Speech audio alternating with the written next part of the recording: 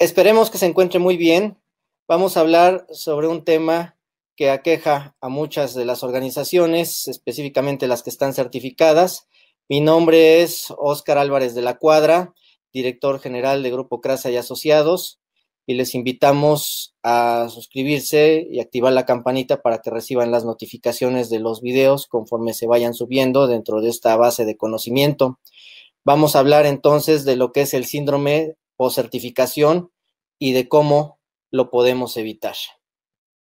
Nuevamente, mi nombre es Óscar Álvarez de la Cuadra López, soy ingeniero industrial y de sistemas, egresado del Tecnológico de Monterrey, Campus Estado de México, y eh, con un posgrado en la Kitakyushu Techno Cooperative Association en Japón y llevo 25 años en la implementación de sistemas de gestión y en responsabilidad social. Vamos a hablar entonces de este tema que es, muy importante y en específico por el número de empresas ya certificadas y por el tiempo que llevan certificadas con sus sistemas de gestión.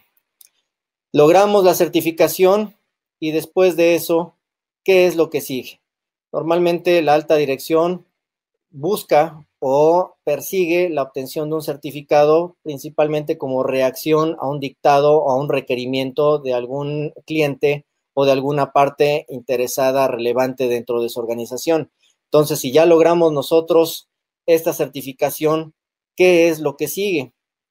Y el problema que se presenta en muchas organizaciones es de que una vez que se obtuvo el logro, de obtener el certificado, se olvidan de que existe un sistema de gestión de la calidad implementado en sus organizaciones y poco a poco ese olvido nos va a llevar al deterioro progresivo y gradual de sus sistemas hasta llegar al estado de no sistema y tener que recurrir a los desvelos y a situaciones de último momento, porque finalmente va a llegar lo inevitable y lo inevitable es de que estos sistemas, a pesar de, haber obtenido el certificado y con una vigencia de tres años, van a estar sujetas a auditorías de vigilancia.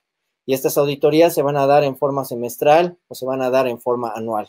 Por lo tanto, es un compromiso el que ineludiblemente la organización se tiene que, eh, va, a tener que afrontar, que es el de contar con estas, recibir las auditorías de vigilancia eh, so pena de que si no se hace eh, de esta forma, se puede llegar a un retiro del certificado. Hablemos entonces de lo que se trata el síndrome post-certificación, que es una serie de síntomas y situaciones que se van a estar presentando conforme va pasando el tiempo posterior a la certificación, que va a llevar a la organización a un estado tal que puede llegar incluso hasta perder el certificado.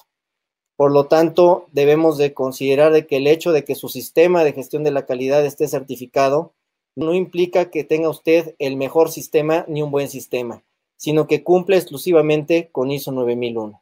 Y esto es algo que tenemos que considerar y de lo que vamos a hablar en esta plática que se dará y que los invitamos a que puedan seguirnos y puedan escuchar el contenido completo. Muchas gracias por su atención. Si te gustó el video, te invitamos a darle like y compartirlo con tus colaboradores, amigos, colegas y pares. Sigamos creciendo en comunidad. Escríbenos un comentario sobre cómo estás aplicando este tip en tu empresa. Suscríbete a nuestro canal y activa la campanita para que sepas cuando subamos un nuevo video. ¿Te interesa contactarnos? Envíanos un correo electrónico a comunidad.keisen.com o visita nuestra página web www www.keisen.com. Tenemos el talento, el acervo y la experiencia necesaria para ayudarte a cumplir tus metas. Contáctanos.